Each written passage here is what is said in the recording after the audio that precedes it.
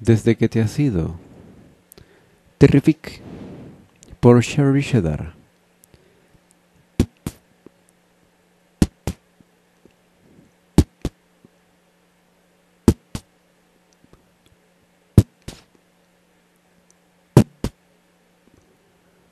Retumban los latidos de su corazón en todo su ser.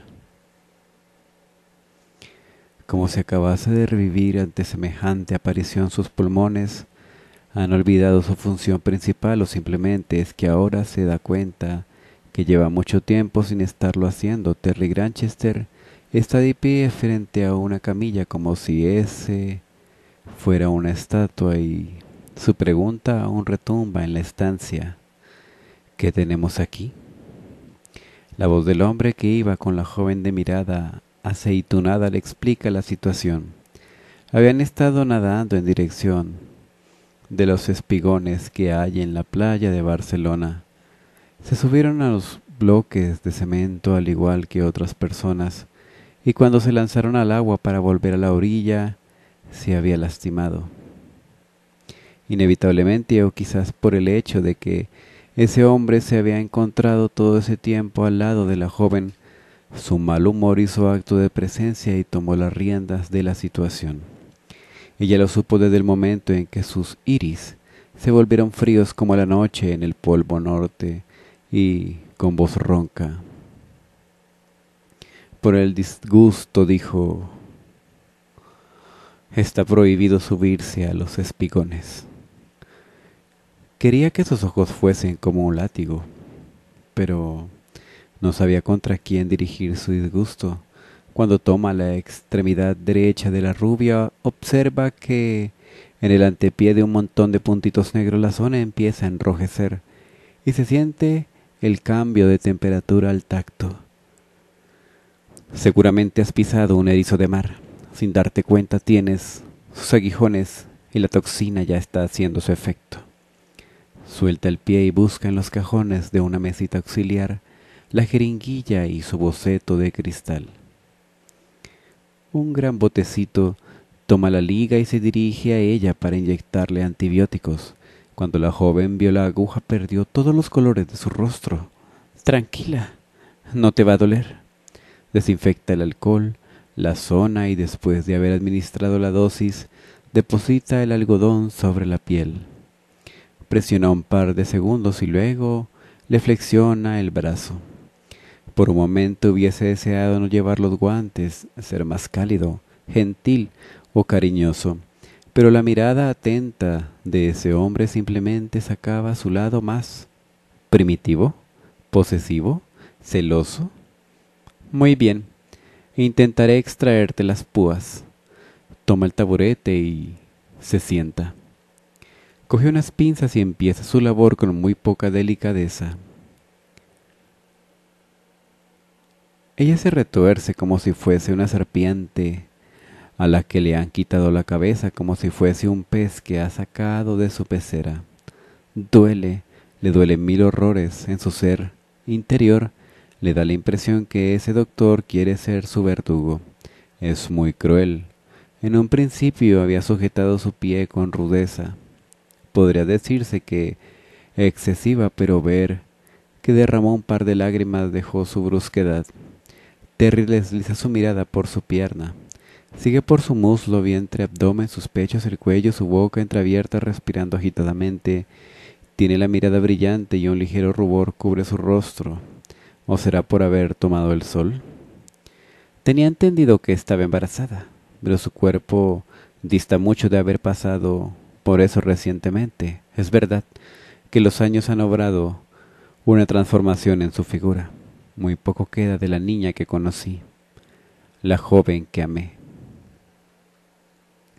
Ah, eso dolió, Dios. Pero qué mirada más cruel. Pero qué demonios le pasa a este doctor. Aguanta un poco más, Linda. Al escuchar la queja de ella, ve cómo ese hombre le sujeta la mano diciéndole palabras cariñosas, ya que poco podía hacer para ayudar a calmar su dolor. La rubia intentaba esconder su rostro con el cojín que tenía de almohada. En su interior Terry se maldijo porque con su actitud más que brusca estaba logrando que éstos fueran más unidos. Demasiadas muestras de afecto en su presencia para su gusto, pero no les decía nada. Debo controlarme un poco más. Al final, yo le puedo estar haciendo más daño que el puñetero erizo de mar, aunque el verdadero daño me lo estoy haciendo yo. Marisol me dijo que se había marchado con mi hermano. Por un momento pensé que después de tantos años estarían juntos. El castaño sigue con su labor de la extracción. Tiene el ceño fruncido cuando toma la punta de la espina. Esa se rompe y debe profundizar más para poder extraerla completamente. Ella grita pero sigue muy concentrado en sus cavilaciones. aunque también existe la posibilidad de que no terminaran juntos. Eso quiere decir que este hombre puede ser su pareja. Su pareja finalmente ha logrado hacer su vida con otro. ¿Será feliz?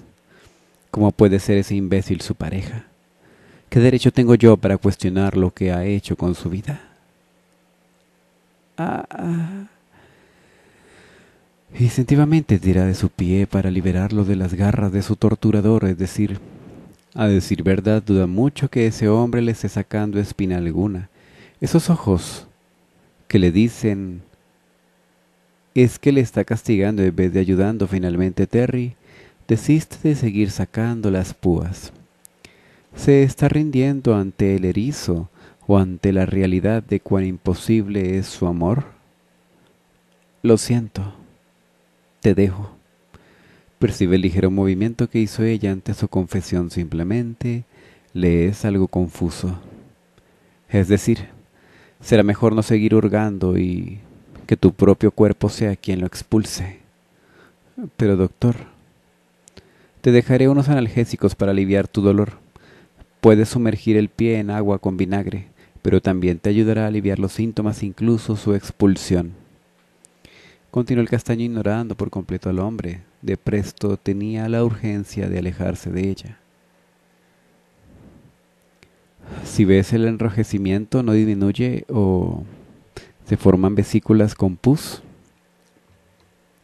deberías acudir de urgencia a un hospital. Se quita los guantes y se acerca hasta ella y le toma el rostro con sus manos, Sutilmente le acaricia las mejillas con sus pulgares. Por un momento la joven pensó que estaba a punto de besarla. Entreabre sus labios para poder respirar al mismo tiempo que siente que su semblante arde con el tacto. Es entonces que percibe una tristeza en su mirada azul. No presenta síntoma alguno de urticaria, problemas para respirar, hinchazón de labios o lengua, dolor en el pecho y enrojecimiento de piel. Eso quiere decir que no eres alérgica a su veneno por lo que te puede decir de una vez. Esas palabras le parecieron puñaladas en sus ojos, se cristalizaron por las lágrimas contenidas. Procura tener más cuidado la próxima vez. Hasta nunca. Ha sido un doloroso placer volver a verte. Muchas gracias, doctor. El castaño se gira para escribir la receta lo más rápido posible.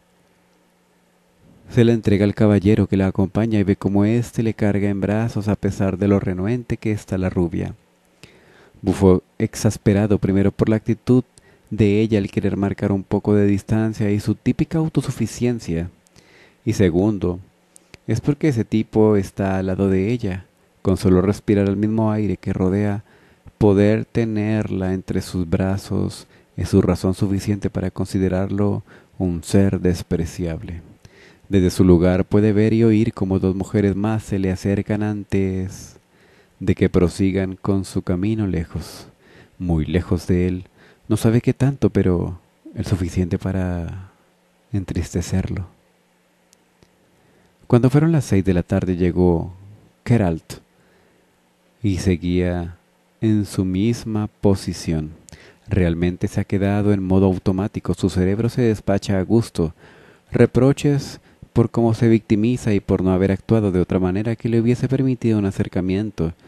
Él solo quiere pensamientos tristes, lúgubres. La mujer a su lado le habla y sonríe amablemente, pero Terry solo puede pensar en una cosa. Candy. Los días pasaron y ese pensamiento fantasma y, y el nombre se hicieron constantes. El ánimo de Terry pasó por todos y cada uno de los estados simplemente épico. Se alegraba por ver que ella había podido salir adelante. Luego se recriminaba por haberla dejado ir y con ese patán. También se ponía como un basilisco cada vez que rememoraba. Esta copia barata de Judy Lau se atrevió a tomarla de la mano hablarle dulcemente en mis narices. Es infeliz le acariciaba los cabellos y el rostro fingiendo que la consolaba. Si tan solo hubiese tenido una oportunidad, si al menos le hiciera saber cuán importante fue para mí y cuánto me arrepiento de haber sido un completo idiota. Sin darse cuenta terminó llamando a una persona. ¿Por qué? Aún no lo sabe, pero al escuchar respondía después del tercer tono, dudó un segundo si debía hablar o no. ¿Quién es? ¿Va a hablar de una vez o cuelgo? Soy Terrence. Terry, ¿de verdad? Y... Mm, este... ¿Qué quiere ahora? Sí, perdona. Creo que llamo en un mal momento. No, pero la verdad es que me sorprende. ¿Sucede algo? La verdad es que... ¿Cómo se lo digo? Es que... ¿Acaso debería de decírselo? La voz de ella se dejó oír un poco molesta e impaciente. ¿Es que qué? Eh, la he visto, Marisol. ¿A quién? A ella. ¿Pero quién es ella? A Candy. El silencio se hizo por unos segundos demasiado largos. Ambos están analizando lo que eso significaba. Sé que no me entiendes o quizás no te haga mucha gracia que nos hayamos encontrado. No debes de preocuparte, la verdad. No pudimos hablar. Después estaba acompañada de un hombre quien se mostró muy atento con ella. ¿La viste con Paul? Ah, con que aquí se llama infeliz. ¡Ash! ¡Qué desagradable! Eso no me lo dijo, pero hoy cuando la vea se lo echaré en cara. ¿Hoy? Sí, Tenía pensado volver justo cuando naciera su sobrino. ¿Sobrino? ¿Volver? Sigo sin entender. ¿Cómo hago para saber más de ella? Y me dijo que un erizo de mar no le había, no le había impedido hacerlo. Entiendo. Pero no llamabas por eso, ¿verdad? La verdad es que eh, no sé por qué lo hice. Oye, a mí no me parece buena idea, no quiero que vuelva a sufrir, pero si quieres que hable con ella y le cuente no, tienes razón. Igualmente, gracias por todo. Hasta luego. Adiós. La mujer se queda viendo el aparato en su mano, un poco confundida. Quizás Terry no escuchó cuando se despidió, él simplemente sigue enredado en su propio estupor. A través de la ventana observa el cielo estrellado, suspira y suelta un deseo sin darse cuenta o esperar a que pase alguna estrella fugaz que quiera hacerse cargo de su petición. Quisiera tener una oportunidad con ella. La cola del cuerpo, celeste, se desvanece justo en el momento que él se da la vuelta y se dirige a su sofá, al menos para disculparme. Y con ese pensamiento presente y las cuatro palabras cruzadas con Marisol, maquina al menos una forma de hacerle saber a Candy lo que siente. Busca en la web de su ordenador el teléfono y minutos después llama a la floristería Daffodils y se hace un pedido especial. Muy bien, señor. Le confirma el pedido el mensaje en la tarjeta. Para Candice Britter. Siempre serás mi mejor deseo. Así es. Perfecto. Enseguida mandaremos el arreglo a la dirección que nos ha proporcionado. Gracias. Da por finiquitado esa angustia que significa Candy en su vida. Decide salir adelante y si el destino decide proporcionarle una oportunidad para que aprovechara y si no, le tocará avanzar sin más, al menos con la conciencia tranquila de que hizo un intento. Está bien, ¿no? Conforme pasaron los días, Terry perdió cualquier atisbo de esperanza que hubiese de que ellos reanudaran la comunicación y decir que verse estaba descartado. Candy ya no estaba en Barcelona. Owen se percató de su estado e intentó animarlo nuevamente cuando terminó el verano Granchester se volvió adicto al trabajo. Las enfermeras estaban felices de tenerlo nuevamente en la labor del hospital en terraza. De presto, su cansino amigo, apoyado por el doctor Martín, le dice que debería ir a la nueva cafetería que han abierto a pocos metros. Venga, tío, el café ahí está buenísimo. Además hay una pelirroja más baja, de seguro te caerá bien. El coscorrón de reyes que comiste y que tanto te gustó lo encargué ahí. Ya te digo yo que tienen cosas muy buenas. En serio te digo que esa mujer es un encanto. Deberías venir con nosotros a almorzar un día de estos. Joven, ¿tú quieres que vaya a comer o por esa mujer? Su amigo se rasca la cabeza sutilmente sintiéndose pillado. Bueno, yo te digo que ahí se come muy bien, y si de paso la chica te cae bien, mira por dónde. Matamos dos pájaros de un solo tiro. Déjate de tonterías, ¿quieres? Y con eso desea zanjar el asunto. Se llegó la Semana Santa y con ellos unos días de vacaciones para disgusto del castaño y esto implicaba demasiado tiempo a solas y libre. Siempre se ha encontrado haciendo algo y tener vacaciones justo ahora le hace desesperar. Su rutina siempre ha girado en torno al hospital y su casa. Hasta por un momento pensó que sería buena idea ir con Keralt a dar un paseo con eso en mente. Sube a su modo Naked Kawasaki Z, negra con gris, y se va a buscar a su compañera al hospital cuando estaba a unas cuatro calles antes de llegar. Se topa con un motociclista que se desplaza en la calzada como si fuese otra moto más. Fastidiado le toca la bocina para que se haga a un lado. ¿Es que acaso aquí no saben andar en bici o qué? Quítate, me haces estorbo. Pero el ciclista no hace caso, se mantuvo en su posición esperando el castaño hasta que al tonto ese le dio la gana y sus caminos finalmente se separaron al llegar. Para su suerte o desgracia, la mujer no estaba, pero quien sí se alegró de verlo fue el doctor Martín, que se le acercó con una sonrisa campechana, adornándole el rostro. Muchacho, ¿qué haces aquí? El castaño se gira y saluda. Martín, buenos días.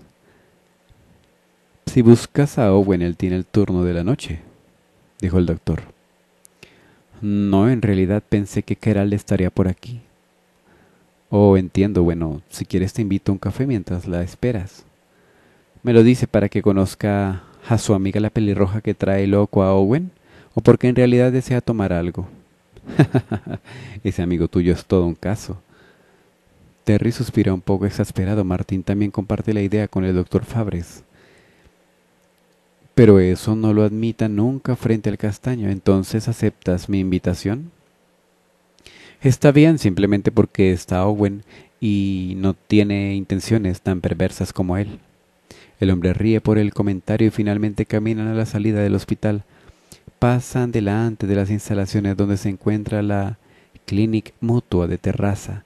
Cruzan la calle y se detienen frente a un local que tiene un cartel blanco con letras verdes que dice Cafetería Renacer. Cuando pasan por la puerta se encuentran con la vitrina que expone deliciosos manjares. Frente a la máquina del café está una mujer de cabellos cortos que está calentando algo con el vaporizador. Buenos días, preciosa. ¿Cómo va la faena? Al escuchar el saludo, la dama se gira para contestar al doctor Martín, mientras una sonrisa acompaña los hoyuelos de sus mejillas. Mientras... Buenos días, doctor Martín. Bienvenido.